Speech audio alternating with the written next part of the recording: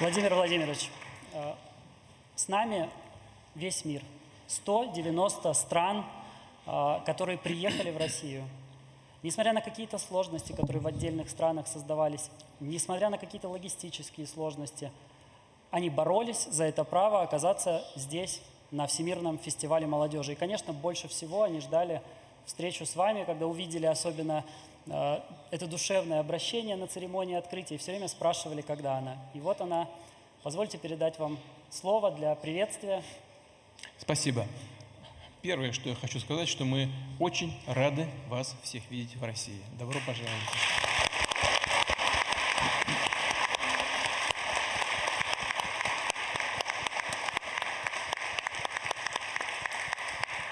Дальше. Мы очень рады, что приехало э, такое широкое представительство из почти 190 стран мира, со всех континентов. Но вот что хочу подчеркнуть. Мы ни с кем не соревнуемся. Мы не хотим ничего никому доказывать.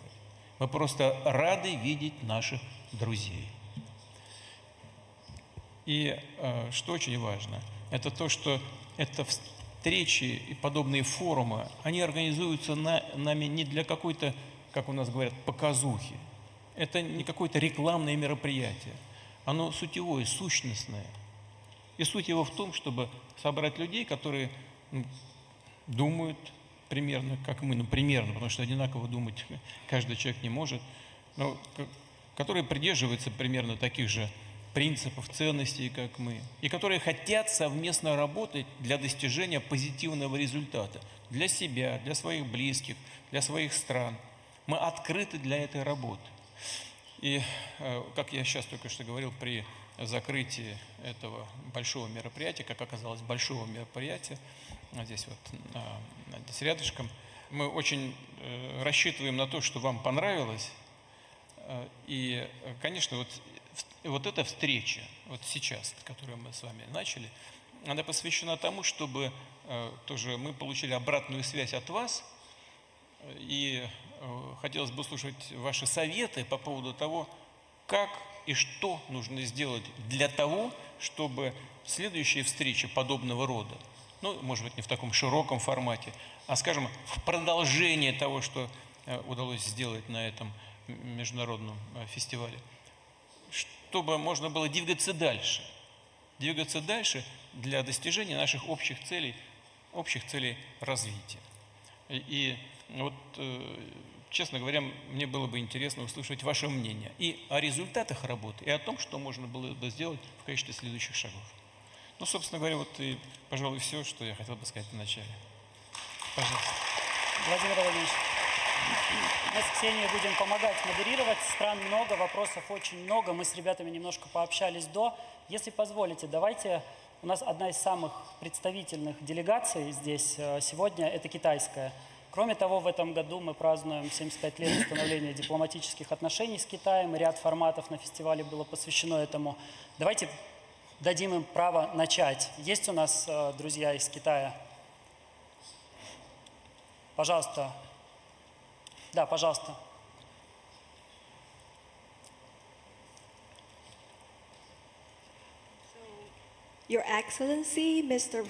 Ваше превосходительство, господин президент, меня зовут Ли Жой, я из Китая, я э, репортер отдела China Youth Daily. Спасибо большое за гостеприимство, за открытость обсуждения дискуссий. У меня вопрос к вам посвященный тому, что вы говорили, что вы надеетесь, что фестиваль откроет миру возможности для всех э, представителей молодого поколения, чтобы они могли пообщаться со своими сверстниками.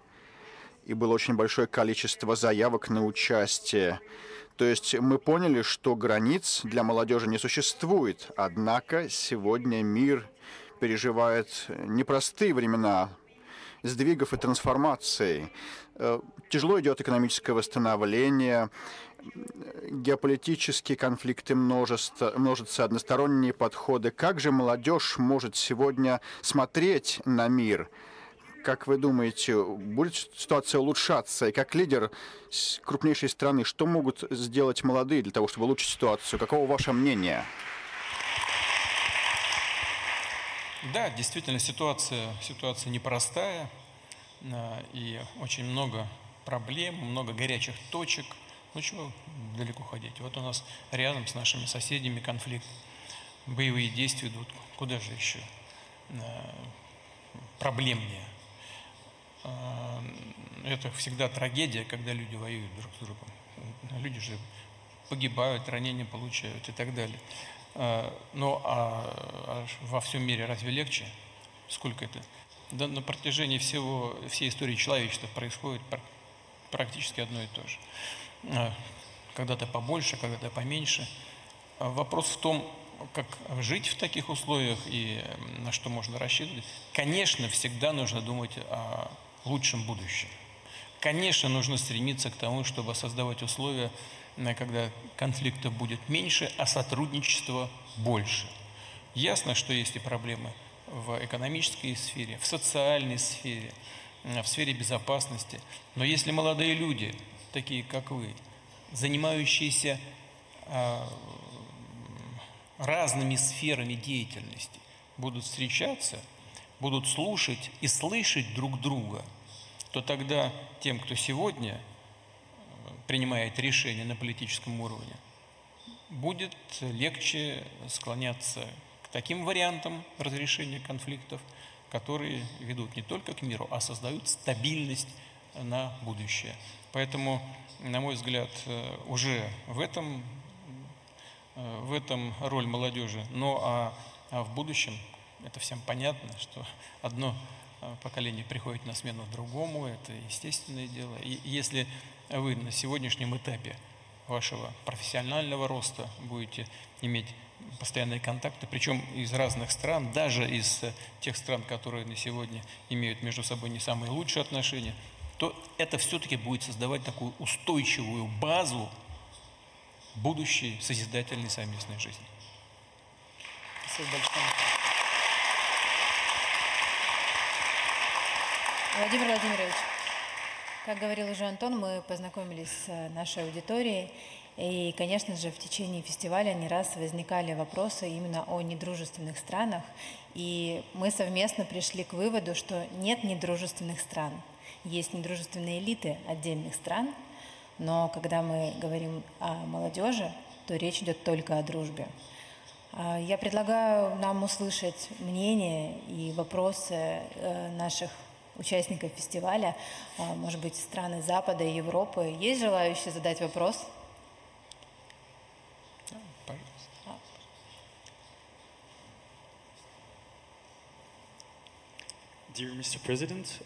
Уважаемый господин президент, меня зовут Матиас Ковакс, я из Бельгии.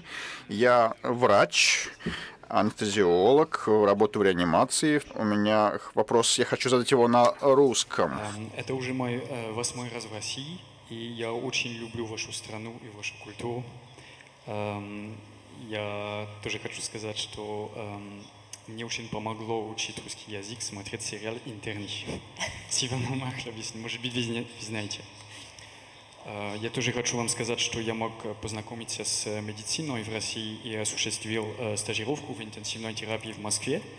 Это был для меня очень интересный профессиональный опыт.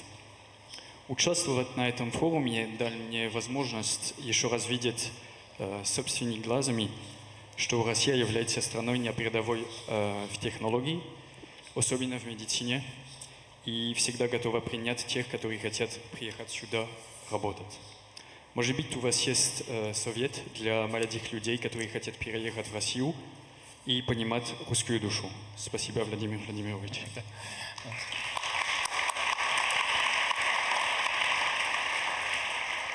Спасибо вам за упоминание о русской душе. Это такая э, сложная субстанция, но во всяком случае у нас есть э, нечто такое, что э, отличает нас от других стран мира.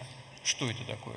мы э, сосуществуем и развиваемся в многообразии культур, религий, традиций. И все это вместе, такой, э, э, такая, э, такое пространство, которое позволяет нам из года в год, из десятилетия в десятилетие, из столетия в столетие обмениваться не только генетическим кодом друг с другом, потому что очень много смешанных семей на пространстве России возникает, но и культурным кодом обмениваются. И создается некоторая общность, такая, такая единая российская нация. Она действительно основана на тех ценностях, которые мы сегодня называем традиционными, даже если мы не очень отдаем себе отчет в том, что это такое.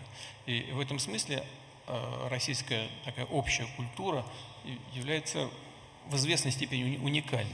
Она интересна, многообразна, э, и действительно есть смысл э, с ней знакомиться поближе, понимать, особенно людям, которые живут за рубежом России, понимать, понимать что, что это такое, и, а поняв это, работать вместе с нами открыто э, и с пользой и для себя, и для тех, с кем вы работаете. Кстати говоря, Бельгия, вы, наверное, знаете об этом, в значительной степени появилась на карте мира как независимое государство, в том числе в значительной степени благодаря России и позиции России. Но это сегодня уже не имеет значения, но имеет значение э, то, что у нас есть э, со многими странами мира своя предыстория отношений. И, как правило, она носит позитивный характер. Что касается вашего вида деятельности, то это благородная работа. Я э, много раз об этом говорил. Ну, собственно говоря, это общие такие вещи. Но, тем не менее, хочу повторить, конечно, э, что это, ну, можно просто выучить все формально, да, и быть, наверное, хорошим анестезиологом, хорошим доктором, но для, для того, чтобы быть очень хорошим, талантливым, нужно, конечно, иметь Э, особенности характера, нужно иметь ту самую душу, о которой вы сказали, э, чтобы посвящать себя другим людям, сострадать. Вот, э, и в этом смысле вы здесь, безусловно, найдете, найдете хороших партнеров. У нас есть свои достижения, есть вещи, над которыми мы, безусловно, должны еще работать. У нас очень большие программы в сфере медицины. У нас есть достижения в области сердечно-сосудистой э, хирургии, там, э, в некоторых других областях.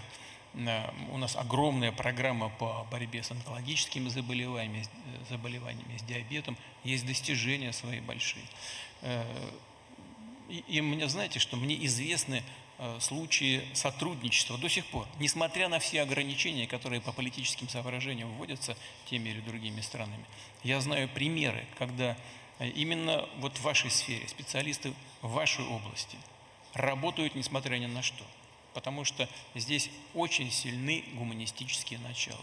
Более того, мне известны случаи, когда э, у людей какие-то возникают сложности такого ну, квазиполитического характера, и вы знаете, несмотря ни на что, несмотря ни на какую пропаганду, несмотря на э, разные взгляды на те или другие процессы, я не, не раз слышал, почти цитирую, особенно когда говорят пациентам в России, мы всегда будем с вами. И мы, э, знаете, мы с огромным уважением относимся к таким людям. Не сомневайтесь, что э, и с нашей стороны будет именно такое же отношение. Всегда. Владимир Владимирович. Мы, мы с ребятами говорили, что многие приехали, не зная ни одного слова на русском языке, а, а уедут и будут знать. Но вот сейчас я скажу, я видел, что молодой человек на Камчатке тянул руку, как у нас в университетах говорят про тех, кто на задних рядах сидит. Наверное, пока не понимают, что это значит. Представьтесь, пожалуйста. Um, Меня зовут Кейлоб Маппин. Я руковожу американской делегацией, э, руковожу э, центром по а, отношению с общественностью. Хочу искренне вас поблагодарить за прекрасное интервью, которое вы дали э, Такеру Карлсону.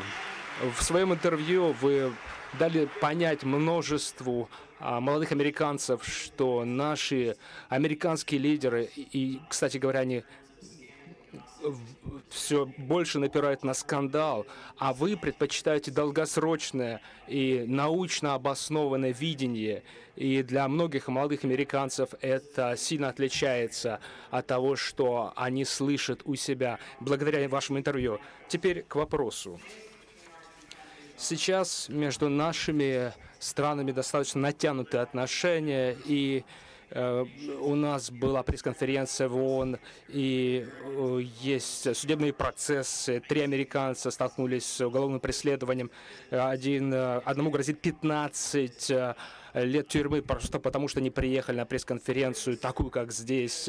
И мы обеспокоены. Я знаю, я говорю от большинства американского народа. Когда я говорю, мы не хотим, чтобы наши налоговые деньги отправлялись на конфликт на Украине, мы не хотим, чтобы наша страна э, разрушалась изнутри, пока политики тратят деньги на украинскую войну. Я в этой связи не согласен с политикой Байдена не только по Украине, по Корейскому полуострову, по Тайваню. Я знаю, что есть возможность мира. На, этой фестиваль, на этом фестивале я увидел удивительную вещь. Огромное количество добровольцев, молодых людей, которые проявили любовь к стране, которые просто проявили гражданское самосознание, какую роль могут подобные мероприятия сыграть молодая дипломатия, как это может подготовить будущее, почву для будущих э, изменений, в том числе в США, с учетом э, ожиданий большинства людей, живущих в наших странах. Спасибо. Соединенные Штаты огромная э, и уникальная страна по-своему. По-своему. Но 300 с небольшим лет она превратилась всего-то.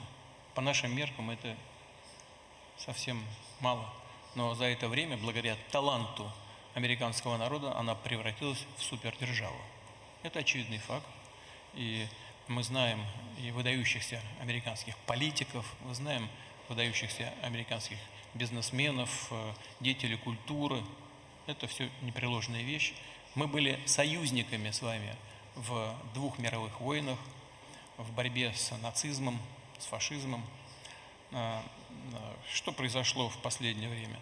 Ну, мы знаем, после войны, после союзничества ну, Соединенные Штаты и Советский Союз начали делить мир, успешно его поделили, и на, на, на этом балансе силы построили международные отношения и создали современную систему международного права. Потом Советский Союз прекратил свое существование по ряду причин, в которые я сейчас не буду вдаваться. Это прежде всего, конечно, внутренние причины. А, но а, осталась одна супердержава в лице вашей страны. Как ваши элиты воспользовались этой монополией на мировое господство? А, вот в этом вопрос. Я считаю, что Соединенные Штаты не справились с этим грузом ответственности, который оказалась на их плечах. Они создали монополию и стали ее укреплять. Я имею в виду не американский народ, а именно правящие элиты. Э, но укрепляя вот эту свою монополию, они очень быстро столкнулись с тем, что подавляющему большинству стран мира это не очень-то нравится.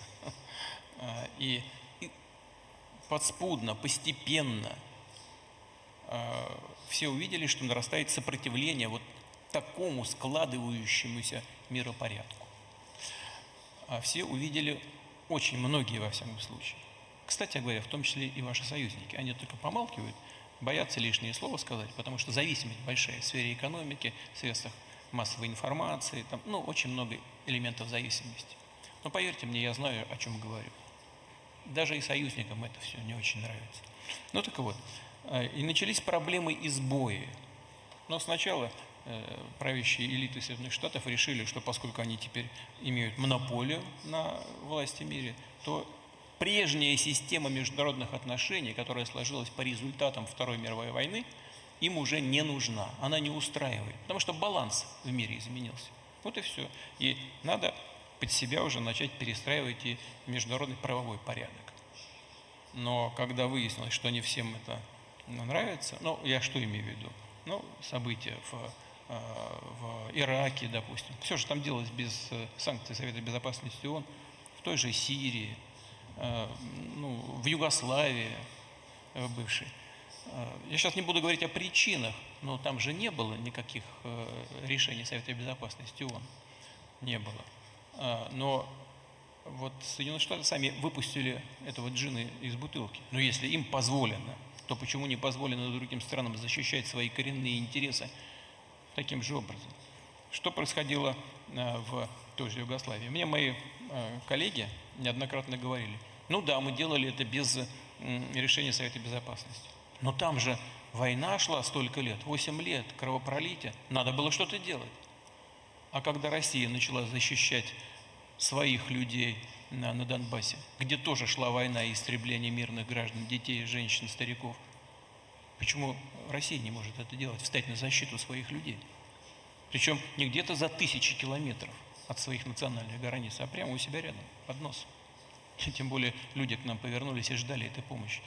Не хочу сейчас вдаваться в детали. Хочу сказать только о том, что вот если понимание того, что мир не может управляться из одного центра, и это даже вредно для самого этого центра, потому что начинает подрывать его основу. Я вот э, в интервью э, вашему журналисту, господину Карлсону, как раз и говорил о том, что доллар подрывается. Ну, запрещают расчеты в долларах. Зачем они это делают, ваши, ваши начальники? Совершенно непонятно. Ну, то есть понятно, хотят достичь быстрого результата, а результата не добиваются, а только подрыва власти доллара добиваются. Это результат обратный ожидаемому и, ожидаемому. И так по очень многим направлениям. Я считаю, что это а, ошибочная политика. Но, а, но молодежь, вот если к вашему вопросу вернуться, конечно, очень многое может сделать. Я сейчас не хочу вмешиваться во внутриполитический процесс, не хочу давать характеристику тому, как ведут себя кандидаты в президенты. Это особенности внутренней политической культуры США. Ничего больше. Вот. А, но молодежь, конечно, может вносить э, свою лепту в выстраивание межгосударственных отношений. Как? Да очень просто. Просто заявлять свою позицию внутри страны в рамках закона и конституции своих, своей страны или своих стран. А, только так нужно действовать. Мы ни, ни в коем случае не призываем к каким-то акциям неповиновения. Но свою позицию в демократической стране человек может сказать? Может. Так и нужно делать. И думаю, что вот это и будет создавать такие но, но, негосударственные, негосударственные формы контактов, которые создадут условия для того, чтобы выравнивать отношения и на государственном уровне. Спасибо за вопрос.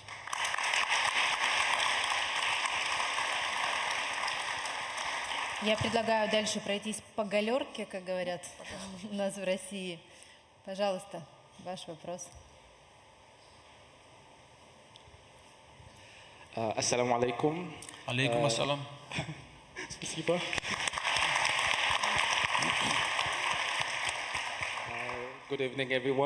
Добрый вечер всем, господин президент. Большое спасибо, что э, поделились с нами такими замечательными моментами. Меня зовут Амир Хамас из Египта. Я недавно закончил факультет медицины, и, и церемония окончания э, совпала с тем днем, когда я полетел в Сочи. Так что я не попал на церемонию, э, но для меня получается, что фестиваль стал днем окончания моего учебного заведения. Medicine, Кроме медицины, я работаю на, в команде мировых послов в Египте. Мы работаем с мировым сообществом, а, помогаем гуманитарно а, доставлять гуманитарную помощь людям, даем возможность молодым людям становиться лидерами в своих сообществах. Мы сейчас работаем над международным проектом, который с стремится объединить э, активистов между различными странами, отправляем добровольцев в разные страны, реализуем проекты в разных странах и у себя, и у них. И я услышал о премии «Мы вместе», и там моя команда была отобрана дважды. Мы были, попали в список финалистов в 2021 году. Я в 2022 году стал финалистом в рамках этой премии. Я был в Москве, э, участвовал э, там э, в рамках форума гражданского участия. И для меня это было невероятное впечатление Премия «Мы вместе» — это прекрасное гуманитарное направление, прекрасный проект. Благодаря нему мы здесь оказались, э, достигаем своих целей, реализуем свои мечты. И что касается добровольчества, я как доброволец э, чрезвычайно впечатлен э, Всемирным фестивалем молодежи. Люди улыбаются, дружелюбные.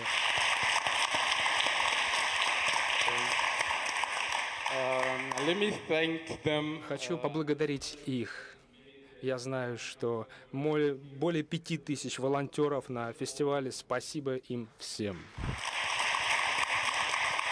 Um, Хочу а, спросить вас, господин президент, как волонтерское сообщество создается в России и как сделать так, чтобы такое количество людей было включено в общую работу. Шокран, спасибо. Прежде всего хочу обратиться к вашему коллеге из Бельгии. Если вы хотите общаться с российскими медиками, пожалуйста, вот это можно сделать прямо, прямо здесь. Вот. Значит, э, это, садитесь, ради бога. Вот. А второе, по поводу э, того, как э, организуется работа волонтерских движений. Здесь уже говорили про, про российскую душу. Но вот я без всяких шуток хочу сказать, без всякой иронии, но все-таки у народов России в душе есть вот это чувство сострадания. Это передается от родителей, прямо, прямо от от, э, от матери, от отца к детям и, и так далее, из поколения в поколение.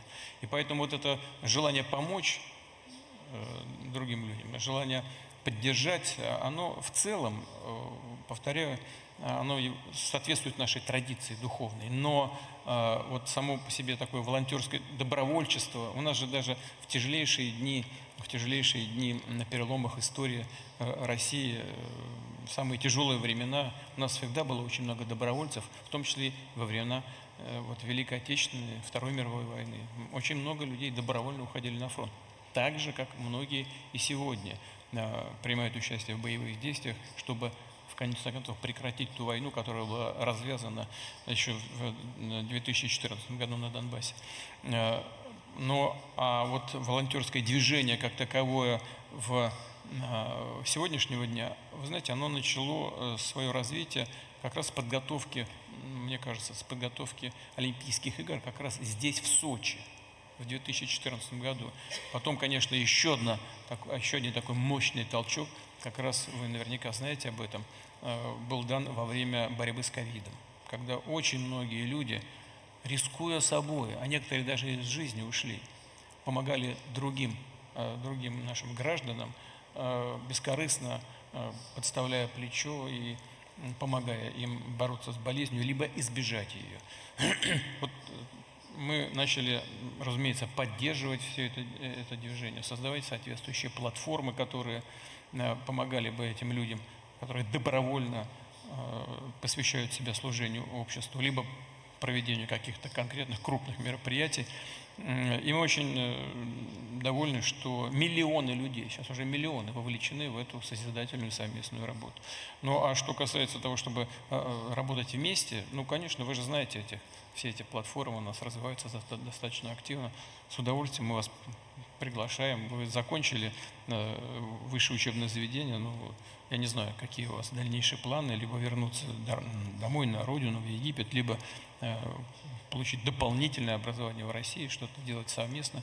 Ну а э, если вы задумали развивать добровольчество в вашей стране, тоже можно взять этот наш опыт. Во всяком случае, все позитивное из того, что нами наработано, мы с удовольствием поделимся. Вам могу пожелать только успехов.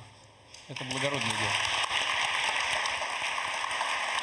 У нас, знаете, тут, тут на фестивале, э, на полях фестиваля запустили уже четвертую премию «Мы вместе». Я имею в виду четвертую, которая в статусе международной. Благодаря вашему решению с 2021 года она носит статус международной.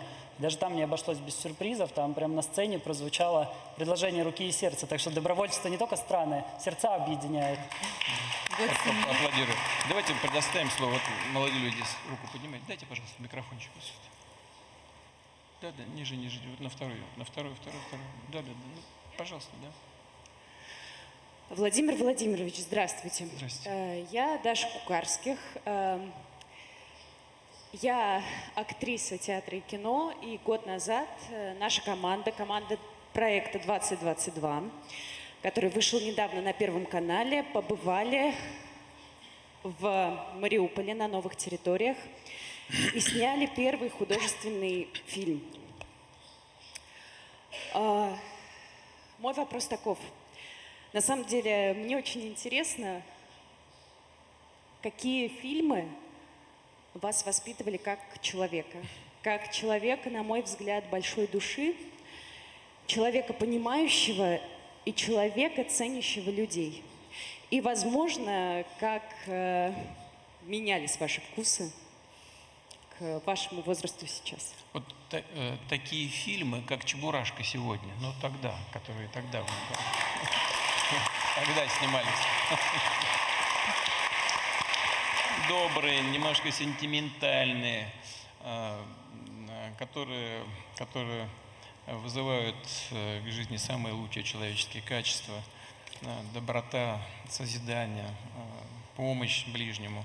Вот э, э, вот, вот такие фильмы. Таких, кстати, фильмов было очень много. Мультиков было очень много хороших. Союз мультфильм из- их э, производил, вы знаете. И, конечно, нам нужно это все вот, э, давать нашим детям, потому что, потому, что, э, потому что то, что сегодня делается, наверное, очень технологично, все мелькает перед глазами, все стреляет, шумит, взрывается, все друг друга догоняют, э, догнать не могут, а когда догоняют, обязательно бьют по голове, но э, ну, наверное, это такой экшен, он востребован рынком.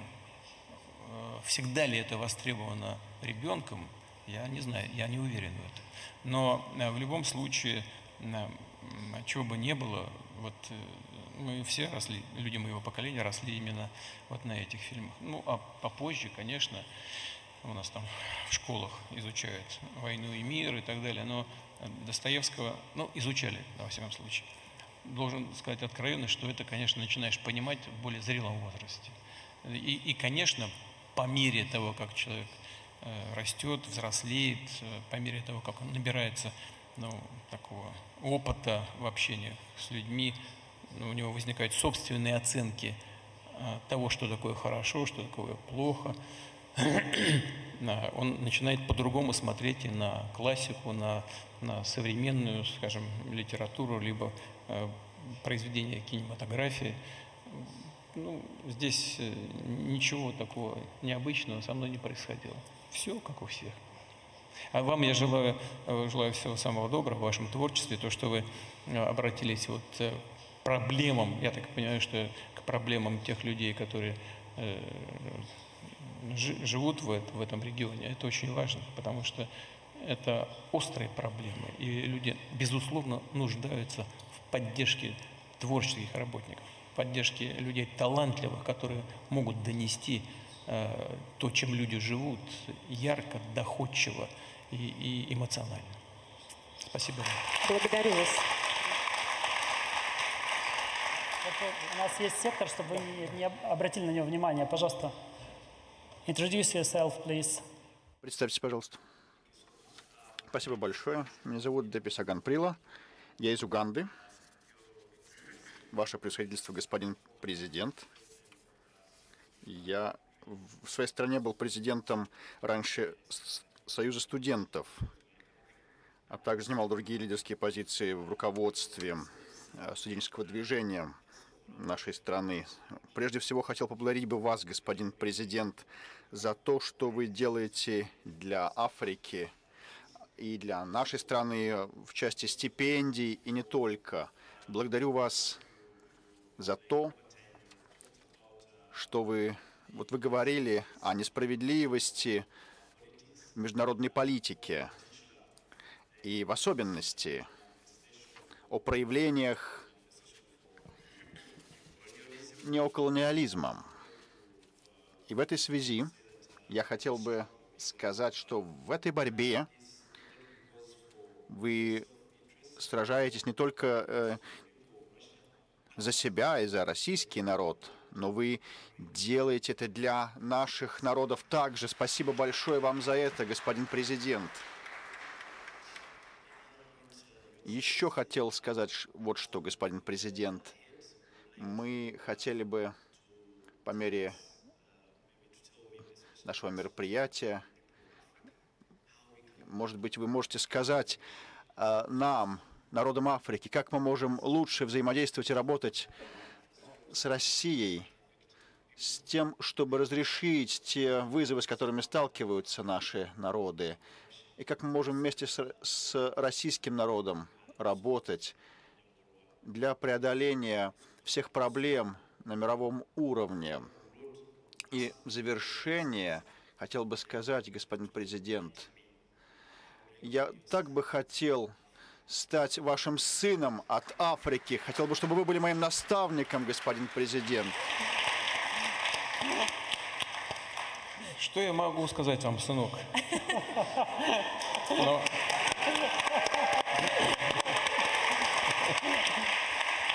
Хочу сказать, во-первых, хочу обратиться вам, к вам не только как э, к сыну, но и как к президенту. Вы же президент э, э, студенческого союза, да? Поэтому э, позволю к вам тоже обращаться, господин президент. Э, Вы знаете, если совсем без, без шуток, то и в Северной Америке, в Штатах, и в, э, и в Европе многие люди, серьезные, грамотные, глубокие люди считают, что в значительной степени благополучие этих стран основано на эксплуатации других народов.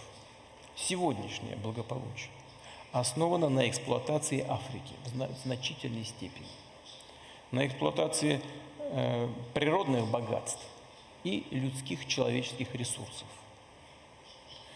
Они прямо говорят об этом, по-честному. Я не считаю, что здесь нужно что-то перебирать, впадать в какой-то экстремизм. Но, но требует покаяния. Но что точно совершенно нужно делать, это нужно учитывать это обстоятельство. Потому что только при учете этого обстоятельства мы можем добиться исправления сегодняшнего несправедливого экономического ми- миропорядка. Я перехожу к таким сложным субстанциям. Может быть, для э, людей, которые не посвящены в это дело, трудно сразу включиться и понять. Но я не буду говорить сложными категориями. Сегодняшний экономический миропорядок, он несправедлив. Не случайно в рамках Всемирной торговой организации представители правительств подавляющего большинства стран мира никак не могут ни о чем договориться в рамках многочисленных сессий, которые переходят одна в другую. А почему? Ну, потому что, потому что богатые страны, богатые страны мира, не хотят на деле, не на словах, а на деле, на правительственном уровне создавать такую систему международных экономических связей, которая бы открывала рынки для развивающихся экономик, которая создавала бы э, либеральные условия их э, развития и роста. Страны с развивающимися экономиками из года в год пытаются внести какие-то изменения в этот мировой экономический порядок, а им постоянно, почти на каждом шагу ставят барьеры. Вот мы собирались в Петербурге на, на очередной саммит Россия-Африка. И вы, на- наверное, обратили внимание на то, о чем сказали лидеры африканских государств. Кстати говоря, несмотря на окрики и на, значит, э, и на э, создание условий для них, для лидеров африканских стран, чтобы они не ехали в Россию, вся Африка приехала. И, и даже не потому, что у нас предыстория отношений очень хорошая, а потому что э, Африка развивается и хочет быть по-настоящему независимой. И ни на какие окрики не реагирует. Хотя и предыстория наших отношений очень добрая, очень хорошая, имеет глубокие корни. Но вот на этом форуме, например, э, мои коллеги африканские упомянули о том, что у них сейчас такой совокупный долг у стран Африки, который отдать по определению невозможно. Вот что не делай, отдать невозможно. Но ведь такие условия финансовых отношений были сформулированы, и африканские страны вынуждены были брать кредиты на таких условиях. Как будто э, финансовые западные круги не понимали, что отдать эти деньги невозможно будет никогда. Вы знаете, э, в истории человечества был такой момент. В истории Европы. После Первой мировой войны э, жадные правители, тогдашние жадные правители, правители Франции и Великобритании создали такие финансовые условия для Германии и наложили такие контрибуции, и такие условия погашения долгов перед, э, как они считали, перед э, государствами Антанты, что отдать их, эти долги было по определению невозможно. И это было одной из причин быстрого возвышения Гитлера на политической сцене. Потому что он говорил своему народу, вы смотрите, что делают эти бандюганы. Ведь они наложили на нас такие условия, при которых мы никогда из поколения в поколение немцы не смогут рассчитаться и стать нормальной страной. У нас только один путь – бороться за наши интересы вооруженным путем. Вот к чему это. Это не единственная причина, но одна из серьезных причин. Но зачем же для Африки создают сегодня такие условия, а, э, налагая такие финансовые обязательства? Конечно, это не значит, что мы должны с вами идти по пути всегда там, сопротивления, борьбы за свои интересы э, вооруженным путем. Но мы, должны, но мы должны делать все для того, чтобы сегодняшнюю ситуацию менять. Делать ее гораздо более справедливой, понятной, прозрачной, значит, более устойчивой, как я сейчас говорил вот на, на э, своих э, на, заключительных словах на, на форуме, на, на, значит, здесь вот рядышком, в соседнем помещении. И вот э, есть еще один момент, на который я хотел бы обратить внимание. В ходе многочисленных контактов с лидерами Африки, даже из тех стран, в которых экономическая ситуация сегодня очень сложная, и люди живут очень тяжело, и э, подчас не, не доедают. Ни один из них, ни один, я хочу это подчеркнуть, ничего впрямую не попросил – Никто не протянул руку и, и никто ничего не, просил, дайте нам то, дайте это. Все говорили только об одном.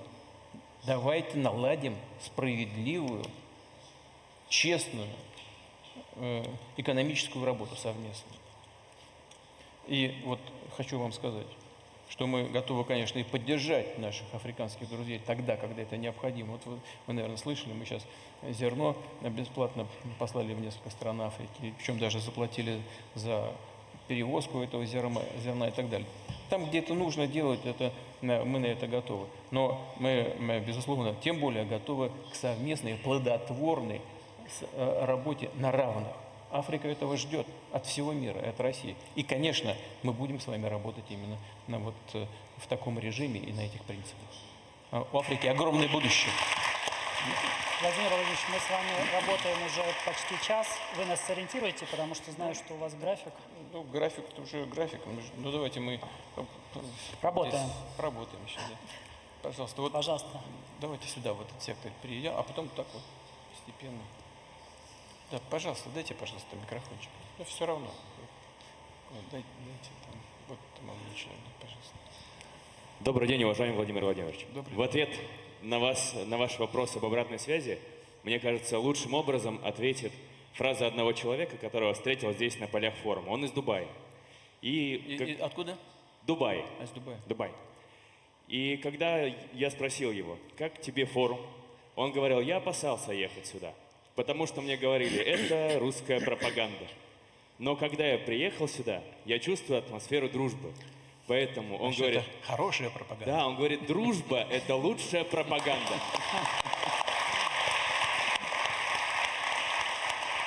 И я хочу поблагодарить вас за этот форум и поделиться своей историей фестивалей. А, для меня фестиваль 2017 года, который был предыдущим, сыграл колоссальную роль в судьбе – потому что тогда я узнал об искусственном интеллекте. Вместе с командами из Индии, и, э, из Греции, из Польши, с которыми мы работали на Форсайте и вам презентовали свой проект. Тогда мы презентовали. Через несколько лет, через пару лет я улетел в Италию учиться и получать там образование в топ-школе Европы. Затем, благодаря конкурсу «Лидера России», я вернулся домой здесь строил роботов, и сейчас в команде Дмитрия Николаевича Чернышенко мы развиваем искусственный интеллект России. А, Спасибо. Это пример того, как работают фестивали, как работают наши социальные лифты. И спасибо вам за это огромное. А Мы вместе с командой Минэка, Сбера разрабатывали, разработали э, стратегию развития национального искусственного интеллекта. Ожидаем колоссальный экономический эффект, переходим к внедрению искусственного интеллекта. Искренне считаем, что наука и технологии могут быть местом, в котором все нации объединяются и работают вместе. И у меня вопрос прикладного характера. Мы переходим к внедрению искусственного интеллекта. Владимир Владимирович, вы используете ли голосовой помощник? Есть ли у вас дома Яндекс или Сбер или другая голос- умная колонка? Есть ли у вас умный дом? Генерируете ли вы поздравления, картинки своим друзьям? Спасибо.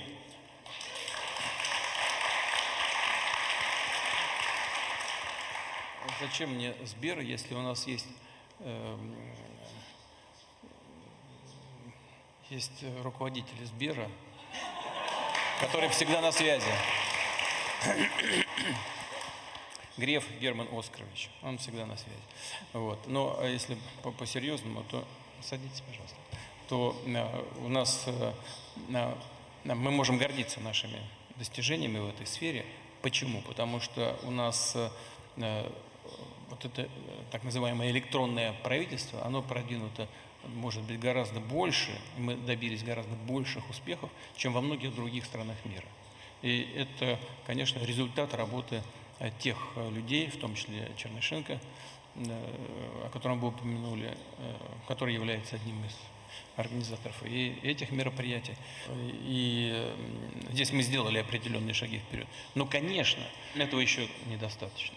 Разумеется, мы должны э, вместе с коллегами э, внутри страны, вместе с коллегами из других стран работать над этой тематикой, э, может быть, даже более напряженно и интенсивно, чем это было до сих пор. Потому что, ну, что мне говорить общие вещи, потому что, безусловно, за этим будущее. А, э, э, Развитие искусственного интеллекта создает огромные конкурентные преимущества для любой страны, которые развивают эти технологии. И мы, конечно, будем это делать. Мы делаем это и будем это делать. Здесь возникает много вопросов, связанных с этикой, но и здесь э, у нас есть чем похвастаться в хорошем смысле этого слова, потому что вы наверняка знаете, мы с нашими ведущими компаниями об этом э, договариваемся, договорились, э, они создают соответствующие инструменты самоконтроля в э, этой сфере, на, на этой площадке даже, можно точнее сказать, пошире. Э, И это тоже очень важно, потому что применение искусственного интеллекта остановить невозможно, это очевидная вещь. Я не склонен соглашаться с теми, кто видит здесь какой-то конец света, видит, э, что будет какой-то рубеж, точка невозврата, когда э, невозможно будет человечеству вернуться к тому, что э, мы живем в мире человека, а наступит с какой-то точки невозврата другая эпоха в жизни человечества, наступит эра машин, которые будут управлять человеком. Но на сегодняшний день, во всяком случае, на сегодняшний все зависит от нас. В том числе это зависит от решения тех вопросов, которые здесь уже поднимались. Вот, и нашим э, партнерам и другам из Соединенных Штатов, из других стран. Э, а именно, нам нужно договариваться между собой. Потому что если это выйдет из-под контроля, то это может нанести непоправимый ущерб, это правда. Но я уже говорил об этом. Тогда, когда человечество осознает какие-то реальные опасности для себя, э, в случае выпуска из-под контроля, из рук человека этих технологий, тогда, мне кажется, созреет время для договоренностей. Так же, как в свое время созрели э, условия для договоренности в области нераспространения ядерного оружия и контроля над этими вооружениями. Э, Но точно совершенно нам придется на международном уровне об этом договариваться. Мне кажется, что здравый смысл победит, мы сможем договориться, а остановить развитие технологий невозможно. Вывод – нужно быть впереди. Владимир Владимирович, я даю Да, давай- давайте вот сюда, да, давайте сюда сектор. переедем, да, да, да, то здесь мы э, дискриминацией занимаемся. Пожалуйста, представьтесь, из какой вы страны. Hi, my name is Здравствуйте. Я из Италии, Фиори меня зовут. Я на, на фестивале. Хочу сказать, что мы по всему городу здесь ходили. When I did the, the mural of Dostoevsky. Я нарисовал э, мурал Достоевского, граффити, картину. Не знаю, помните вы меня или нет. Я хочу сказать, что ни одну из культур нельзя отменить. Да, мурал, граффити в Неаполе, фреска Достоевского.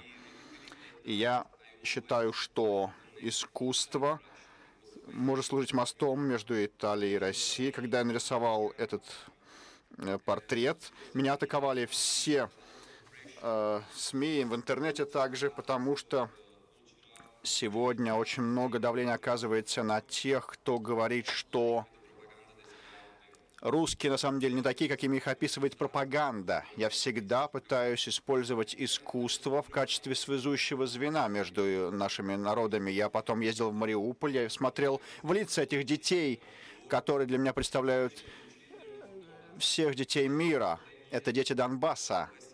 Десять лет западные СМИ ни слова не говорили о детях Донбасса. Им было наплевать на этих детей. А это этот мурал, этот рисунок показывает, что дети такие же, как и в другом мире, в оста- в остальном мире. И с помощью искусства я пытаюсь связать, объединить Россию и Италию. Что вы думаете об искусстве, о роли искусства, господин президент? И может ли оно стать инструментом, который связывает и объединяет разные страны и народы? И если возможно, господин президент, можно вот фотографию с вами э, сделать, чтобы показать в Италии потом, что вы на самом деле настоящие, потому что пропаганда говорит какие-то странные вещи, а мы на самом деле люди, обычные люди. И все неправда, что говорят. Конечно, щипаться не будете, чтобы удостовериться в том, что я настоящий. Вот. э, Но по-серьезному, во-первых, э, нас всегда восхищало искусство Италии и всегда сближало. Итальянское – это искусство, великое искусство великого народа. Это совершенно очевидная вещь. Во всяком случае, мы в России всегда так к этому относились, относимся сейчас. Но не только нас объединяло, а ваша борьба Италии за независимость, Гарибальди, разве, разве это нас не объединяло? Всегда объединяло. И то, что вы поехали на Донбасс, это на, вот, в Новороссию, это тоже, видимо, такой зов сердца, потому что у итальянцев всегда присутствует в сердце стремление к свободе.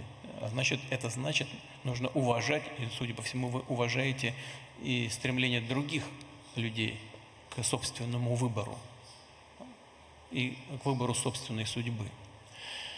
А, И, конечно, на любую проблему надо всегда смотреть с разных сторон. И искусство, на мой взгляд, должно предоставлять людям, не вмешиваясь в текущую политику, но а, давая как бы информацию а, своим особым языком о том, что происходит, искусство должно помогать людям делать собственный выбор при решении таких сложных вопросов, в том числе и сегодняшнего дня. Э, В этом смысле, мне кажется, вы на верном пути. Я хочу вам пожелать всего самого доброго, успехов. И уверен, что у вас все получится, если вы и дальше будете придерживаться таких внутренних нравственных установок. Э, Мне кажется, что в искусстве это очень важно. Владимир Владимирович, может, Латинской Америке дадим? Я внимательно слушаю всем континентам. У нас есть, да, Латинская Америка? Пожалуйста. Да. Шляпа такая настоящая. Все, да, вопрос задают. Да? Пожалуйста. Да, прошу вас. Good afternoon.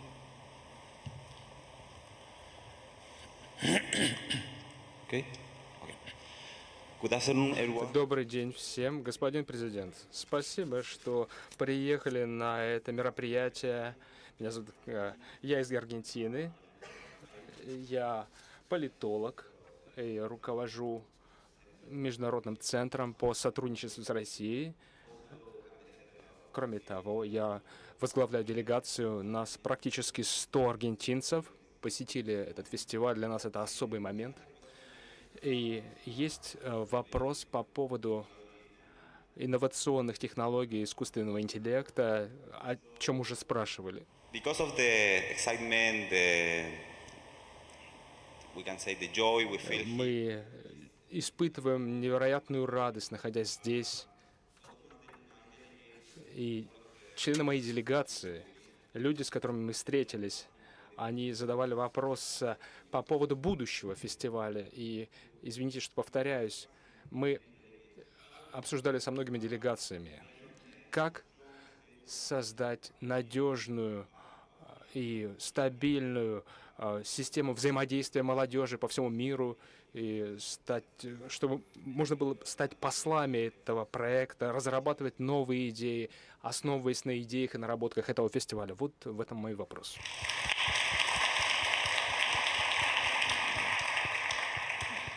Вы знаете, мне кажется, что ну, все деполитизировать невозможно, но если вы хотите, э, чтобы было поменьше ограничений, э, то э, нужно по максимуму деполитизировать контакты между молодыми людьми и не пытаться биться в закрытую дверь или в какие-то стены, а искать те направления, которые не вызывают ни у кого каких-то подозрений,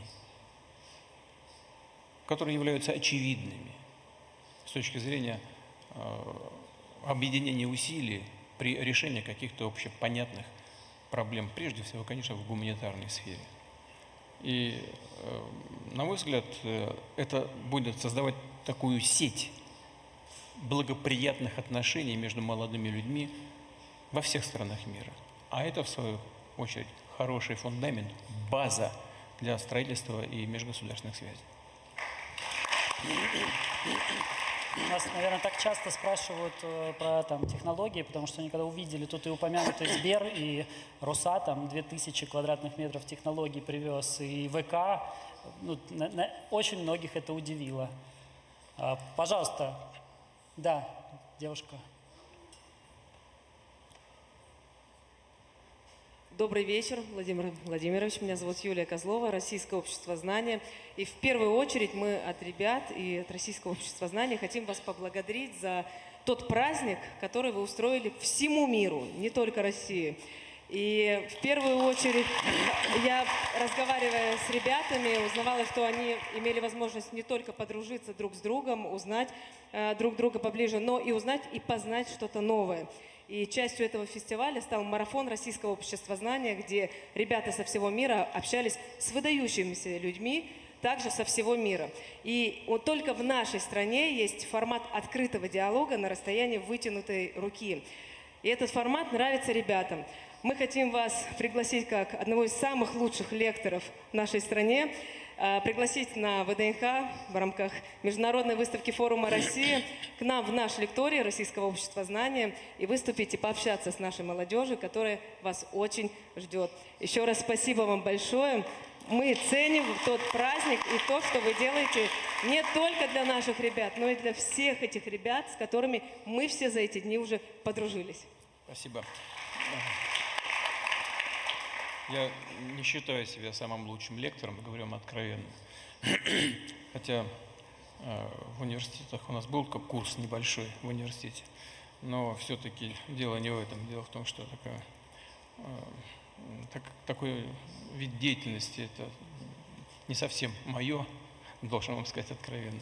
И у нас есть действительно люди очень талантливые, э, которые обладают и знаниями энциклопедическими и умеют это красиво излагать с тем, чтобы делать это не только доходчиво, но чтобы в ходе своих выступлений завоевывать сердца, завоевывать умы и делать э, э, слушателей того, чего они говорят и в чем стараются убедить своими единомышленниками.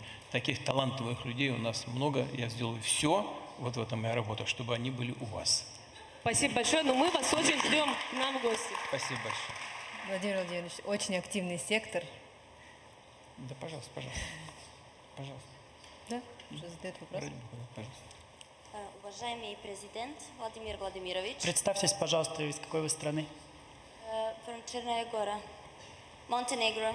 Черногория. Uh, my name is Alexandra. Меня зовут Александр Делетич, я из Черногории, я генеральный секретарь политической партии «Право Черногории». Uh, firstly, I want to convey warm regards from the majority population. касается большинства жителей Черногории. Э, И, и пр- президент нашей политической партии Марк Милотич также присоединится к моему вопросу. Считаете ли вы, что этот молодежный фестиваль помог миру увидеть давление, которое оказывают западные страны и демократии на, те, на, на- на Российскую Федерацию, вводя санкции. Одна из таких э, стран это Черногория. Несмотря на то, что большинство жителей не согласны с такой политикой, хочу заметить, в Черногории бывший президент Мило Джуканович напрямую ответственен за такую политику, пред- которая является предательством собственной родины.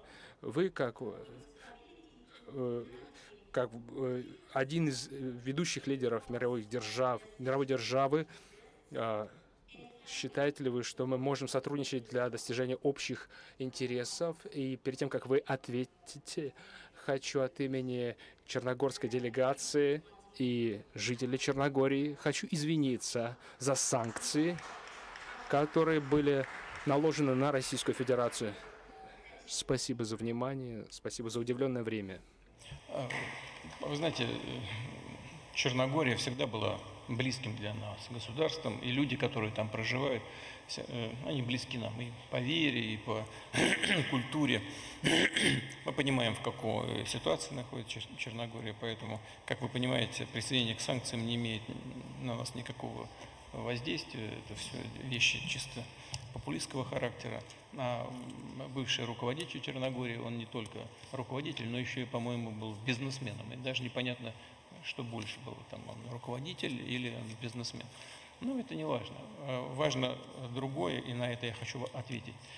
Вот вы сейчас сказали о санкциях, о борьбе с санкциями э, и как на это влияет. Вот сегодняшнее мероприятие. Хочу еще раз подчеркнуть, я об этом сказал в самом начале.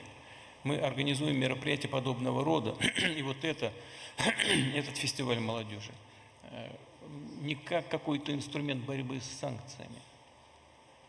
У нас с санкциями борет, борется правительство и довольно успешно, как вы видите. Мы, мы,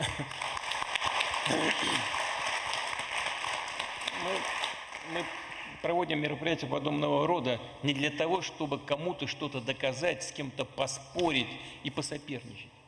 Проводим мероприятия для того, чтобы найти друзей, для того, чтобы создать условия для общения между молодыми людьми, для того, чтобы они э, получили больше информации о нас, о России. А получив эту информацию, могли так же, как многие уже э, участники нашей сегодняшней встречи, э, могли строить планы на сотрудничество между конкретными людьми, конкретными профессиями, конкретными, может быть, предприятиями, создавали, создавали бы новые какие-то форматы взаимодействия и помогали бы э, странам, даже тем, тем странам, которые находятся сегодня в конфликте друг с другом, э, помогли, помогали бы искать пути выхода из этих сложных ситуаций. Вот чему посвящены наши, страны, на, на, наши мероприятия, в том числе и сегодняшнее. Но то, что вы здесь, мы этому очень рады, вам благодарны. Спасибо большое. Давайте с Латинской Америкой пообщались. Может быть, вернемся в Северную Америку. Ребятам препятствовали попаданию сюда на фестиваль. Все равно 50 человек приехало, несмотря на, на это все. Есть у нас еще Америка здесь? Да, пожалуйста. США? Ну, задавайте вопрос, раз стали. Спасибо большое. А США там, но не- не- э, Ми- Мексика. Вот тоже North America. Давайте.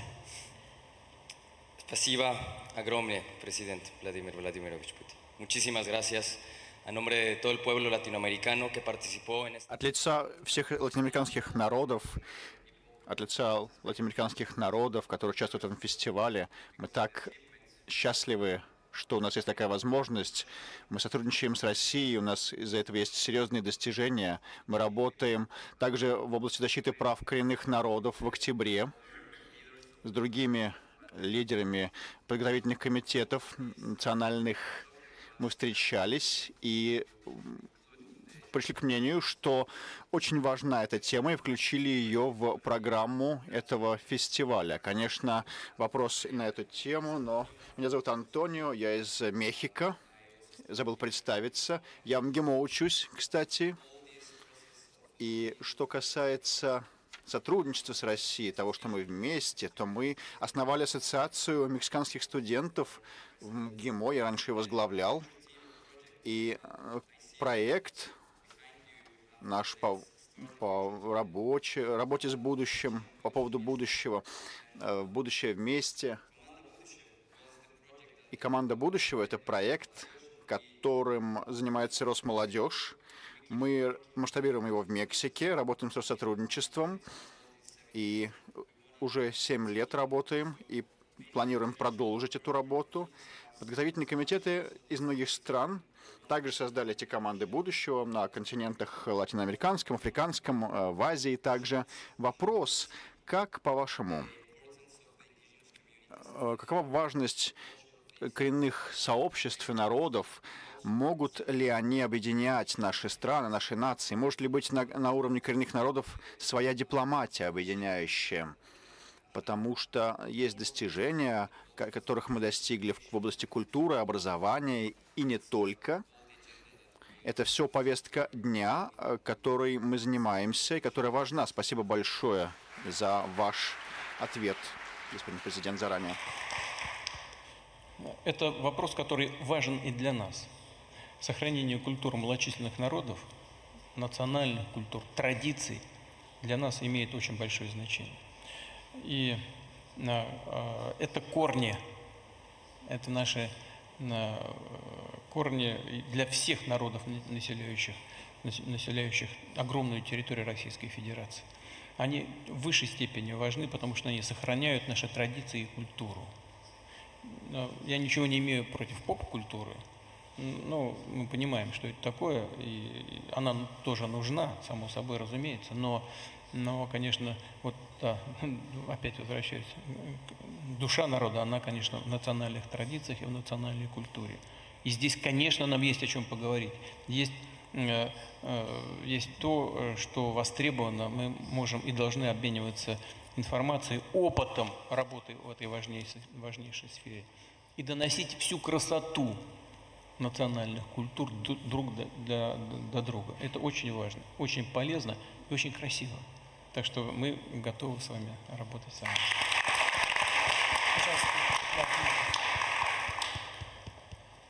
Добрый вечер, уважаемый Владимир Владимирович. Здравствуйте. Меня зовут Андрей Савельев. Я работаю в патриотическом центре «Воин», который создан был по вашему поручению, а сам я киевлянин.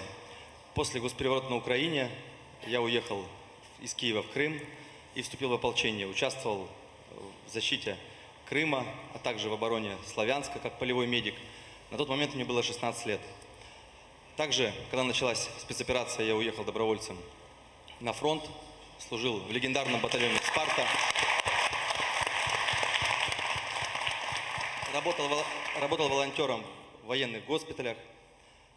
И в 2012 году, еще до Майдана, Казаки верного казачества в центре Киева на Софийской площади, вы знаете, где это находится, проводили мероприятие, по, посвященное дружбе России, Украины и Белоруссии. Я на тот момент был воспитанником кадетского класса, мне было 14 лет, и в какой-то момент туда пришли радикальные бандеровцы, которые вырвали российское знамя, и один из них пытался убежать с ним. Мне удалось его догнать и спасти флаг от поругания. После этого меня пригласили в посольство России на Украине и вручили именные часы от вас. Сейчас этот флаг находится как реликвия в центре войн. Мы находимся сейчас на фестивале, и я нахожусь как участник СВО от донецкой делегации, и очень рад, что есть возможность здесь донести правду не только представителям из всех регионов России, но и иностранным гостям практически из всего мира. Поэтому хотел бы поблагодарить волонтеров, которые дают такую возможность, и также которые участвуют и помогают фронту, а также от всех участников СВО, поблагодарить лично вас за то, что заступились за Донбасс, и теперь наша армия показывает всему миру величие России. Спасибо вам огромное. Спасибо. Садитесь, пожалуйста. Я хочу в свою очередь вас поблагодарить за вашу позицию. Э, вы когда только встали и начали говорить таким уверенным, твердым мужским голосом, я сразу понял, с кем имею дело. Э, это первое. Второе, э, спасибо вам за вашу позицию. Потому что то, что вы делали и делаете, направлено, как это не покажется странным в сегодняшних условиях, во благо Украины и России, во благо украинского народа и русского народа. Уверен, что благодаря таким людям, как вы, как я уже публично говорил, рано или поздно воссоединение, на всяком случае, на духовном уровне произойдет. И это неизбежно. А, но для того, чтобы это произошло, нужно, конечно, искоренять все, что мешает этому. А мешает этому самые отвратительные проявления национализма. Вот это яд, который отравляет жизнь очень многих народов в том числе и сегодня на Украине. Вот э, те, кто не знает нашим иностранным да, друзьям и коллегам, могу сказать, вот сейчас молодой человек сказал о э, бандеровцах. Кто такие бандеровцы? Бандеровцы – это последователи некого Бандеры, который во время Второй мировой войны сотрудничал с Гитлером. Уничтожал в огромном количестве, миллионами, полтора миллиона евреев уничтожили там. Поляков, русских, белорусов, не с числа жертвам вот э, потом, правда, в середине войны, когда Гитлер начал проигрывать войну, и это стало для всех очевидным, что нацисты проигрывают, э, бандеровцы переметнулись, пытались переметнуться уже в сторону союзников. Тогда уже э, гитлеровцы начали их поддушивать потихонечку. Но это, это точно совершенно, это исторический факт, это люди, которые сотрудничали с нацизмом, с нацистами – и которые истребляли гражданское население. Вот сегодня такие люди на Украине возведены в ранг национальных героев. Они э, с их портретами ходят как с иконами по крупным городам, им отдают честь, они являются символами сегодняшнего украинского государства. Вот с этим мы и боремся. Благодаря таким ребятам, как вот, э, вот наш Пожалуйста. товарищ, который здесь находится. Да, да, да. Господин президент, большое спасибо. Хочу, с вашего позволения, задать вопрос на немецком. Меня зовут... Пожалуйста, пожалуйста. Меня зовут Кристиан Вагнер. Я, э, я из э, Гамбурга. Мы э, рядом с Дрезденом, из Восточной Германии. Я учился на профессионального рабочего, на строителя, потом переехал в Китай и продолжил свою учебу там. Я в Китае э, участвую в фестивале, и мы занимаемся сотрудничеством, углублением сотрудничества с евразийским континентом и э, занимаемся укреплением связей со всеми континентами, со всеми регионами. И здесь э, ключевой момент, важный момент сотрудничества между Россией и Китаем. Э, по моему опыту, а, а, немецкий народ хочет дружбы с российским народом. И мы видим взаимное сочувствие, солидарность двух народов, и мы чувствуем, что есть солидарность, и в первую очередь на уровне молодых народов, э, молодых людей. И мой вопрос такой, как вы Э, можете использовать этот, э, эту возможность, как улучшить общее взаимопонимание и обеспечить э, и укрепить европейский суверенитет. Спасибо. Вы закончили свой вопрос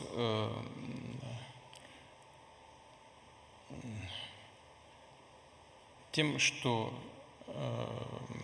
тем, что вы хотели бы, так я понимаю, укреплять европейский суверенитет.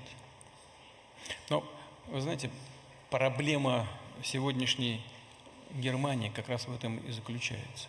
Это даже не проблема, это беда, наверное, сегодняшней Германии. И она откуда возникла?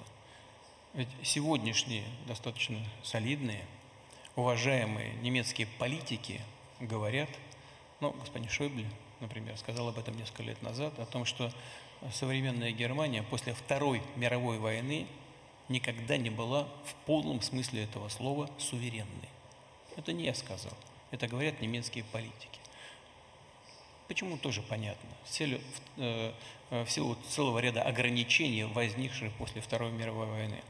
И, и тех ограничений, которые создали страны-победительницы.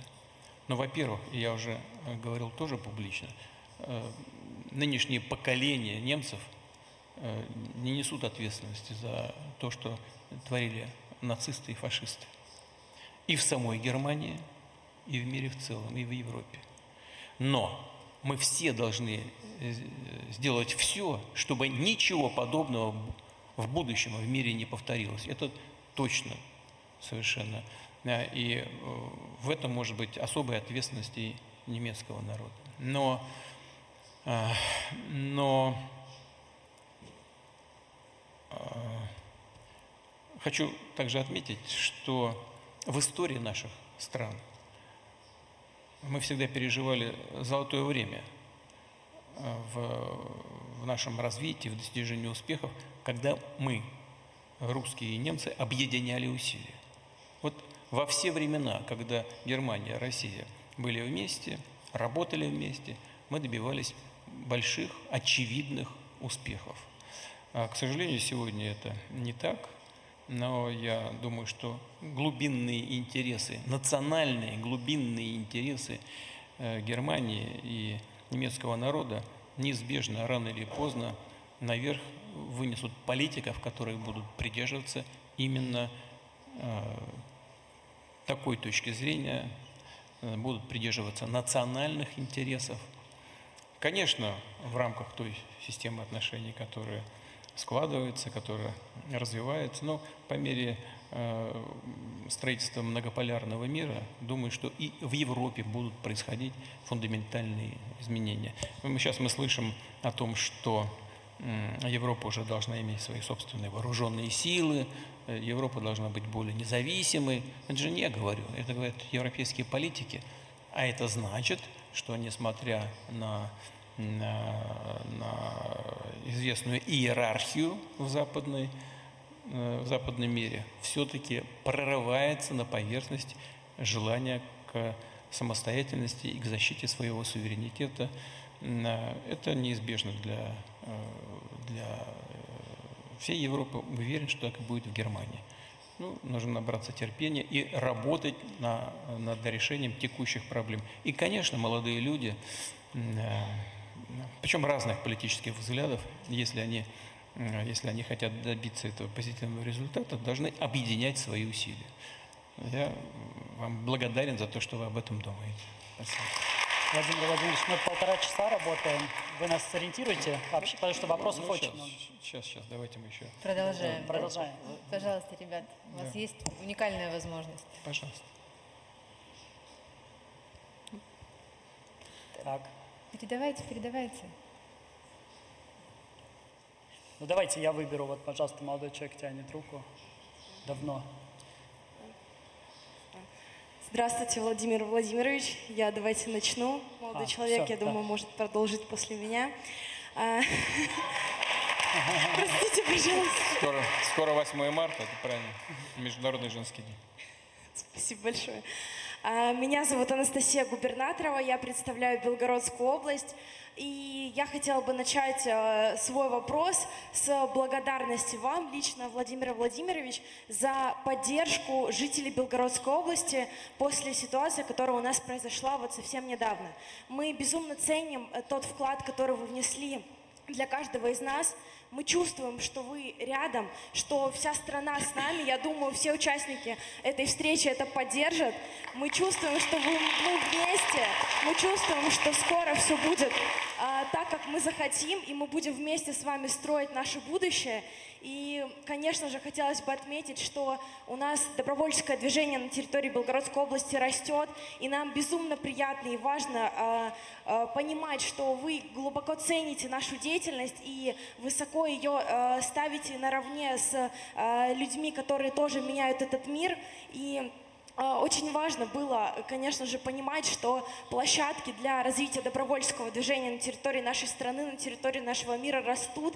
И спасибо вам за такую возможность обменяться опытом, поделиться какими-то своими практиками, взаимодействия с волонтерами, с нашими волонтерскими организациями, ребятами и неравнодушными людьми из нашей страны, которые помогают нам каждый день. Это и семьи, это молодые э, люди из детских садов, из школ, колледжев и университетов, которые каждый день пишут письма нашим военнослужащим. Это и те люди, которые э, присылают и отправляют гуманитарную помощь. Это все те, кто всегда с нами и всегда поддерживают нас. Спасибо вам еще раз большое за это. И мы безумно благодарим вас за поддержку жителей Белгородской области и а, как от лица жителей а, города Белгорода конкретно. Спасибо вам большое за это. И подскажите, пожалуйста, есть ли возможность такая а, приумножить площадки для обмена практиками, обмена нашим опытом а, с другими регионами, чтобы другие э, ребята из э, других стран, из других регионов могли тоже поделиться с нами этим, Да. так, так как это безумно важно для нас, для всех здесь присутствующих. И спасибо вам еще раз большое за такую возможность. Что касается вот этих площадок для обмена опытом, она, у нас сейчас их работает там три или четыре, но Машук там и так далее, Таврида, но, но э, в ближайшее время их будет 12. Поэтому мы понимаем важность этой работы и будем создавать условия для того, чтобы таких возможностей было больше. А, Но поскольку вы из Белгорода упомянули о происходящих, происходивших там событиях, хочу вот что сказать, а, что это, ну не все, наверное, знают, и я вдаваться сейчас в детали не, не буду, но вы и жители Белгородской области это поймут. Вот а, а, обстрел, обстрел э, мирных объектов, удар э, системой залпового огня по по площадям, по, э, по мирным гражданам, это, безусловно, военное преступление.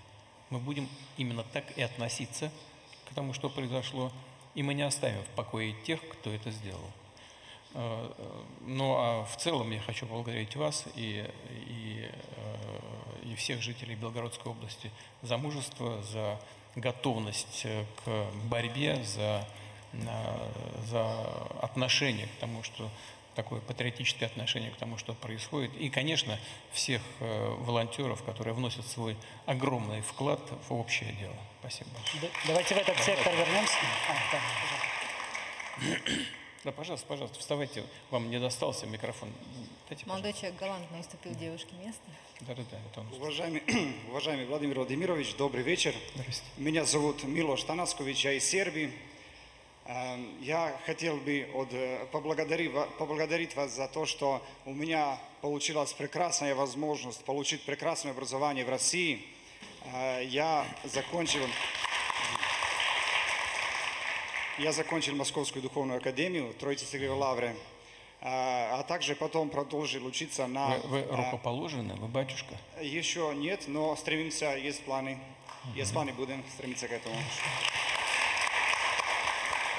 А, У меня потом получилась очень хорошая возможность э, получить образование, также продолжить, э, увеличить его э, в, на юриспруденции учился еще, да. Хотел бы еще сказать, что у нас в Сербии, благодаря вашей помощи, благодаря России, Русской Православной Церкви, построился прекрасный собор Святого Савии Сербского. Да. А также однажды вот э, на поездке на Валам я заметил э, прекрасную, прекрасную фотографию э, с вашу с архимандритом Мефодием, наверняка которого вы, вы знали. Да. Батюшка, светлый батюшка, я хотел бы как раз спросить, насколько вы во время ваших приездов к нам, во время общения с батюшком Мефодием, как вы хорошо познакомили нашу культуру, наших балканских стран, насколько они вам близки? Спасибо вам большое. Вы знаете, э, не хуже, чем я, наверняка знаете, даже лучше. Отношения между э, Россией и Сербией носят особый характер, исторические глубокие корни. Э, Я всегда с особой теплотой говорю об этом, потому что, потому что на, на протяжении веков, я хочу это подчеркнуть, сербы были самыми надежными союзниками России. Мы это знаем, помним и ценим. Давайте в этот сектор вернемся. Да, пожалуйста, молодой человек в галстуке. Пожалуйста. Представьтесь. Здравствуйте, меня зовут Новошенк. Я представляю Соединенные Штаты Америки от лица Центра политических инноваций. Хочу задать вопрос и хочу сказать, э, что благодарю вас за то, что предоставили нам возможность приехать сюда. Однако это горько-сладкий опыт, так скажем, потому что во время церемонии открытия был момент, когда все брались за руки, а передо мной была женщина, и был человек в коляске инвалидной. И я смотрел, как она попыталась взять его за руку, они взялись за руки, и я чувствовал человеческое тепло. Он не был исключен из общего процесса. И я по всему фестивалю вижу, что все объединяются, и вижу оптимизм, надежду. Я вижу, что молодые готовы свой потенциал реализовать, продвинуть мир вперед. И я думаю о том, что дома происходит.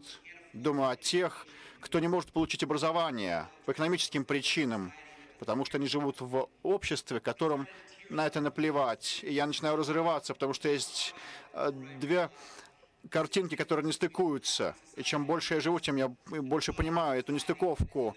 И нации БРИКС, наоборот, на подъеме сегодня, а западные нации сегодня движутся к закату. И мой вопрос, считаете ли вы, что мир, где Запад сможет присоединиться к БРИКС, возможен? И может ли такое вообще произойти? Как это может конфигурация выглядеть? Видите, да, до сегодняшнего времени все стремились присоединиться к Западу, в том числе и Россия когда-то стремилась к, к семерке присоединяться, восьмерке. Потом мы поняли, что это не имеет смысла, потому что с нашими интересами там никто не считается. В этом проблема. И в этом ошибка наших западных партнеров. А, я уже пытался донести эту мысль до вашего соотечественника, когда отвечал на предыдущий вопрос нашего американского гостя. Но э, вы знаете, вы сейчас сказали о проблемах чисто социального характера по поводу получения образования, получения медицинской помощи. Должен сказать по-честному, откровенно, это не только проблема Соединенных Штатов. Хотя, конечно, для многих, наверное, странно это слышать. Многие, скажем, из Латинской Америки сейчас правдами и неправдами стараются попасть в Соединенные Штаты – этот поток мигрантов, э, который вызывает раздражение у большого количества американцев, он всем известен. Вот. Но, но, но таких проблем много и в других странах, в богатых, в развитых. Э, вообще, скажем, проблемы, проблемы здравоохранения, они и для Европы очень э, очень острыми являются. Соединенные Штаты всегда до сих пор создавали условия наилучшего применения э, знаний, э, своих способностей для высококвалифицированных специалистов со всего мира, в том числе из Европы. Зарплата выше, европейские специалисты туда переезжают жить. Э, но, но проблемы для но, но мир является несправедливым, это точно. И, э, и люди, которые не имеют соответствующих доходов, они ни образования нормального получить не могут, не, не вправе рассчитывать на медицинскую помощь. И люди могут умереть прямо на пороге э, медицинского учреждения, если у них нет, нет страховки в Соединенных Штатах. К сожалению, такое было, и неоднократно мы эти случаи трагически знаем. Но это не значит, что во всех остальных странах мира все хорошо и полностью достигнут э, социальный баланс и социальная справедливость. Я тоже сегодня об этом говорил.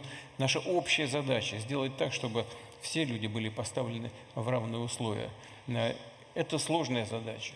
Но мне думается, я даже убежден, что если мы будем создавать вот этот многополярный мир, в который мы не только зависим друг от друга, но и помогаем друг другу, то вот э, социальные вопросы, в том числе образования, здравоохранения, они будут, они будут решаться легче, они будут решаться эффективнее, потому что объединяя усилия мы добиваемся лучших результатов. У нас здесь есть представители БРИКС, уже стран БРИКС. Э, пожалуйста, вы же из ЮАР, да? Мы с вами познакомились на фестивале. Я не ошибаюсь? Um, Здравствуйте, меня зовут Джулиан Суини. Я зам, заместитель президента студенческого конгресса Южной Африки. Это самая большая организация, ассоциация студентов Южной Африки. Прежде чем задать вопрос, спасибо большое, господин президент, за то, что у нас такая есть возможность. Мы э, общались со студентами, которые учатся в России благодаря стипендиям, которые вы выделяете. И я по-русски не говорю, некоторые из них э, были моими э, переводчиками. Я только выучила спасибо и пока-пока. Спасибо большое, господин президент. Я, может быть, смогу улучшить свой русский, но э, хотела бы затронуть вопрос БРИКС. Бедность, к сожалению, сегодня не дает нам заниматься развитием нашего общества, и молодежь не может выйти э, на международный рынок труда для того, чтобы нам это сделать. Нам нужно преодолеть препоны. Например, у нас в образовательной области проблемы, многие не могут получить хорошую работу и выйти на рынок труда после окончания учебных заведений. А если вот рынок БРИКС будет развиваться. Может быть, у нас появится такая площадка, э, которая даст молодежи возможность э, получить хорошую работу. И, может быть, нужно какие-то меры для этого предпринять. И, может быть, вы можете нам посоветовать, господин президент. Мы по телевизору видим, что представители старшего поколения участвуют в принятии решений в рамках БРИКС, теперь БРИКС плюс уже. А может быть, мой вопрос, э, господин президент, придет нас к этому, к следующему. А когда у молодежи появится место за тем же самым столом принятия решений вместе с представителями более старшего поколения, с тем, чтобы наши интересы тоже учитывались, потому что в Южной Африке молодежь пытается повысить уровень своего представительства – а БРИКС это наднациональная структура, это глобальная теперь же структура, БРИКС плюс уже, а не просто БРИКС. И дело в том, что мы, нас приглашают во всякие молодежные лагеря и так далее, но мы хотим сидеть со, со старшим поколением за столом, принимать решения, потому что сегодня те решения, которые принимаются, не учитывают интересы молодого поколения. Вопрос мой следующий. Когда же молодежь получит право голоса во время принятия решений в БРИКС? Э, вы знаете, БРИКС, он рождался в России, так постепенно все это происходило. А, в свое время на одном из международных мероприятий, кстати говоря, в рамках той же «восьмерки» в Петербурге, э, я предложил нашим китайским друзьям и индийским встретиться втроем. Так возникло, э, возникло объединение РИК – Россия, Индия, Китай. Вот. Потом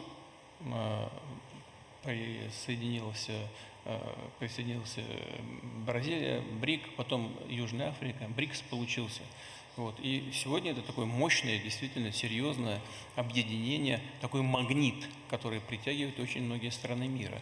Потому что, как вот коллега, э, наш друг из Соединенных Штатов отметил, но, действительно эти страны набирают обороты набирают обороты. Я уже приводил эти данные. Сейчас э, мировой ВВП стран БРИКС больше, чем, э, чем ВВП стран семерки. И этот разрыв увеличивается. И он будет увеличиваться дальше. Это уже медицинский факт. С этим уже ничего не поделаешь, и даже если кому-то хочет тенденцию это поменять, уже невозможно. Это будет нарастать. А, но э, вы правы, конечно, нужно, чтобы мы слышали голос молодых людей. Для этого мы создали, это была российская инициатива, создали молодежную площадку. Но, имея в виду то, что вы сейчас сказали, и то, что мы являемся председателями БРИКСов в этом году, сделаю все, что от нас зависит, как от председателей, для того, чтобы молодые люди имели возможность сидеть с нами за одним столом из стран БРИКС и могли принять участие в наших дискуссиях. Друзья, Да, давайте у мы так сделаем. вопросы? У нас, я, я Думаю, знаете, вот центральный сектор. Да, давайте, да, в центральный. да, ну и будем потихонечку уже завершать. Да, пожалуйста, пожалуйста. Ну, скажите, кому отдать. Мы два часа почти работаем. А я знаю, что из Колумбии, да, у нас есть гость.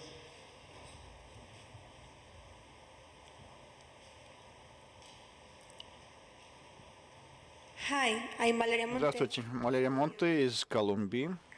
Everyone seems Все знают, как должен себя вести лидер, президент, руководитель или лидер какой-нибудь, глава какой-нибудь корпорации или бизнеса, компании. Но на самом деле бывают непредвиденные ситуации, и иногда приходится принимать какие-то нестандартные решения, которые кому-то иногда вредят, а кому-то, наконец, наоборот, идут на пользу. Мой вопрос. Судя по вашему опыту, как надлежащим образом преодолевать такие неопределенности, которые связаны с э, руководством и лидерством, последствия таких вот спорных решений, а, и, и как брать на себя ответственность за эти последствия? Вы знаете, на мой взгляд, нужно всегда иметь внутренний ориентир. А этот э, внутренний ориентир э, может иметь право- правильный вектор, когда мы думаем не о текущем событии, а о будущем. А, И вот один из людей, который политикой занимался, он говорил так, что, э, что хороший политик думает о будущих выборах, а настоящий лидер думает о будущих поколениях. Вот.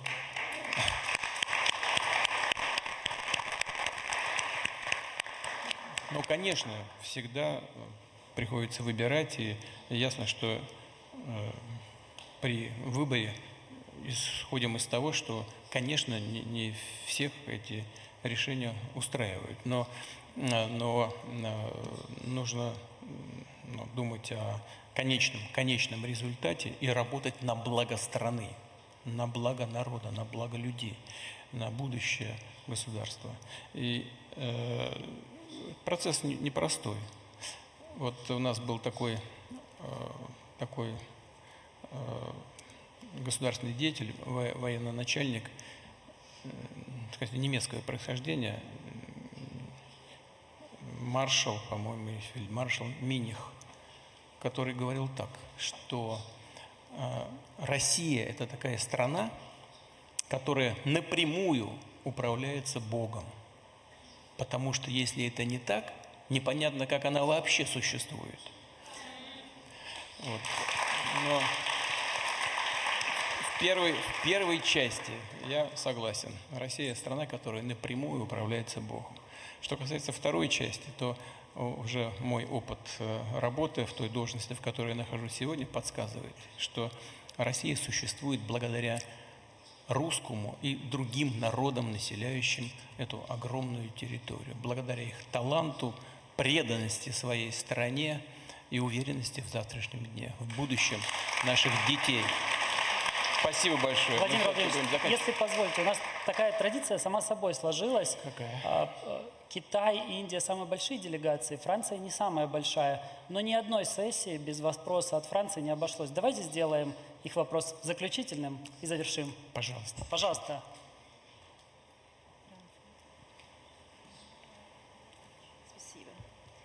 So, um, hello everyone. Здравствуйте все. Меня зовут Шулянар.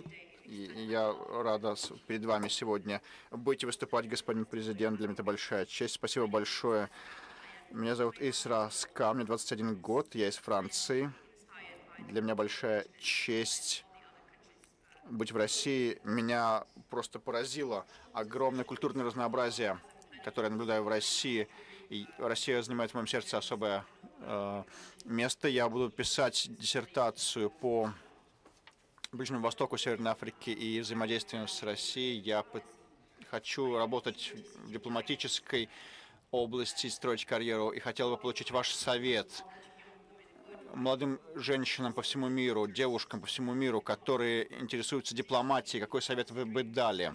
Также, учитывая успех этого фестиваля, есть ли какие-то планы с тем, чтобы он носил постоянный характер. Это могло бы быть способствовать культурным обменам и улучшать взаимопонимание между нашими народами. Спасибо. Что касается форумов подобного рода, мы, конечно, будем их продолжать. Делать их еще более содержательными, насыщенными, яркими и привлекательными. Что касается, что касается э, женщин в профессии, ну что же, у нас э, в России женщины занимают э, заметную роль в жизни страны. Но, к сожалению, не так много женщин сегодня в правительстве. Вот одна из них здесь присутствует. Татьяна Алексеевна, привет.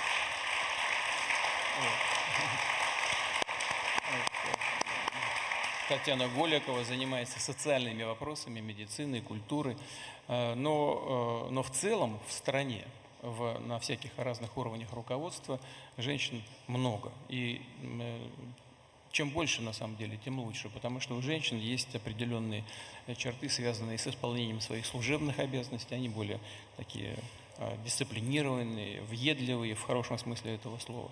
А вот что бы вы сказали, что бы можно было посоветовать? Не мне, женщинам, советовать, это себе дороже, лучше не связываться.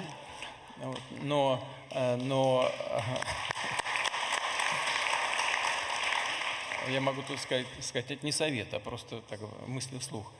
Конечно, чем бы женщина ни занималась, она, конечно, должна оставаться всегда женщиной. Она должна оставаться любимым человеком, создавать атмосферу определенную э, вокруг себя – а, ну, в семье, конечно. Предназначение женщины – это продолжение рода. И это уникальное, абсолютно уникальное, а, уникальный природный дар. Мы все относимся к нему с огромным уважением и поддерживаем. У нас целая программа поддержки материнства и детства. Это, я уже говорю, без лирики, просто это серьезные вопросы и для Франции, и для вообще всей Европы, для развитых экономик, для России тоже – потому что, э, потому что снижение э, рождаемости – это серьезный вызов для всех стран, в том числе и в сфере экономики. И, и э, поэтому, вот, а роль женщины здесь уникальная. Но при этом мы все, конечно, я говорю, мы, имею в виду мужскую часть населения, мы, конечно, все ждем, чтобы женщина оставалась привлекательной, обворожительной, нежной, но как этой женщине все сделать, и карьеру, и быть нежной, привлекать, я не знаю. Но это женская тайна, в которую я не, даже не пытаюсь погружаться. Вам всего самого доброго. Спасибо большое, да. за открытый разговор, и да, да. что вы нам так а много нас, времени уделили. Нас, да, да, уже на месте. Сейчас, одну секундочку. Сейчас. Я, я хочу попросить моего африканского родственника вот, и э, итальянского нашего друга подойти сюда.